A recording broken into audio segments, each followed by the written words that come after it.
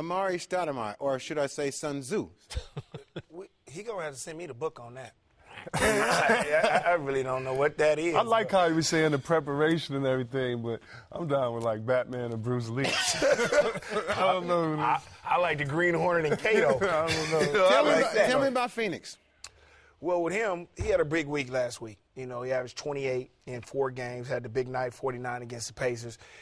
He has to do that all the time. You know, if they're going to do this with Shaq and have him take days off and, and, and every now and then, and Steve Nash do the same thing, he has to come all every day. But that's going to be a, a problem for him because they're going to wear him down. People are going to start double teaming him. They're going to start trying to take him out of his game and, and, uh, neutralize him and then it's going to be a problem. So that's what it's going to be a problem for Phoenix this period. If Shaq and, and Steve don't play more than 60 games, it's going to be a, little, a real big problem for them in the West. I agree. The only advantage is that he's young and he's playing with Shaq. And uh, Tim Duncan had an advantage uh, when he played uh, with David Robinson, and uh, it just enhances him. I'm not, I'm not saying that he makes the player, but I think that he can lean on Shaq on those nights he gets tired, and hopefully he can use his youth. Yep.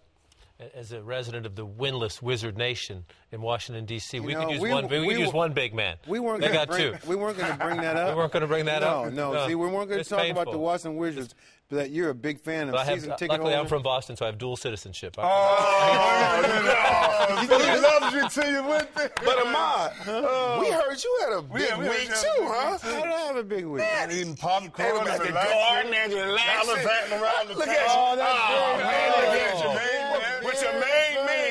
popcorn. Look at him. Put the popcorn in his mouth. You hungry? you hungry? Why you ain't waving your hand like Mike waving his? See, now that's really cold blooded, man. Bumming popcorn off his you boy. get- He's supposed to be at work doing the rest of the show. What are we talking about, Phoenix? Those his seats? Those are my seats. I happened to have, he came in town. He was watching his team play. We just went to the game, and the Knicks beat him. Okay.